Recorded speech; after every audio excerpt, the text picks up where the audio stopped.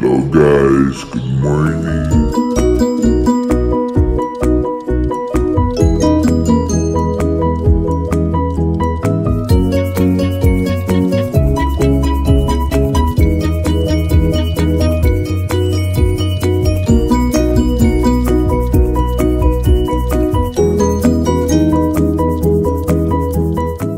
Hello guys, good morning.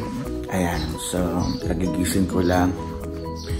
As usual, mag-isa ulit ako dito. Kasi napasok si Elmer sa school. College na siya. Anyway, good morning sa ating lahat. Um, kamusta ang tulog ninyo?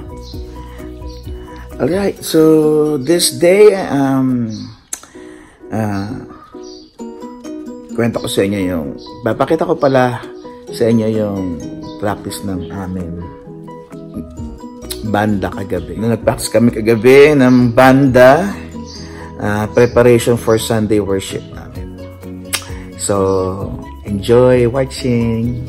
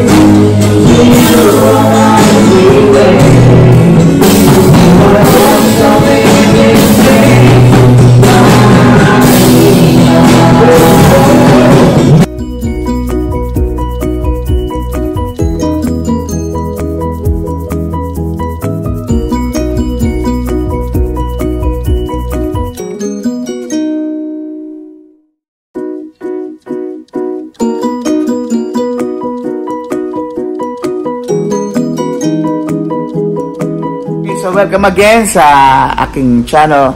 So nakita natin yung practice kanina ng mga ng banda namin. No? So nakita niyo mga bata pa, yung mga instrumentalist ko. Pero um, magagaling na sila actually. No? Uh, they started into scratch and then they want to learn. Nag-exert sila ng effort. No? Nanood sila from YouTube, mga tutorials.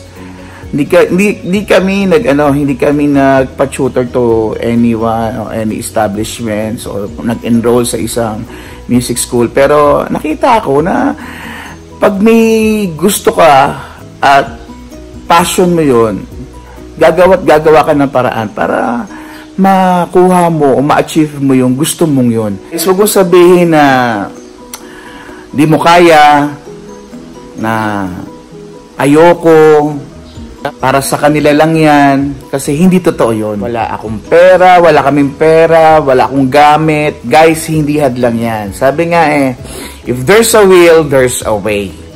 Di ba? kasi, sa totoo lang, sa ka ba ba magsisimula? Kung gusto mong isang bagay, simulan mo na ngayon. Guys, just do your best and God will do the rest. Yun lang yun. Yun ang sekreto. At saka syempre, wag mong kakalimutan na never stop learning. Yun, never stop learning. Kahit na makarinig ka ng mga ah, side comments, negative reactions sa mga nakapaligid sa'yo, no, wag kang ihinto. No, diretso ka lang. Kasi hanggat ah, buo sa isip mo yung goal mo, yung goal mo matuto, ito yung magpupush sa'yo para gawin pa yung bagay kahit mahirap. Okay? Okay, so yun lang. Again, bye-bye, ingat kayo, and God bless you all.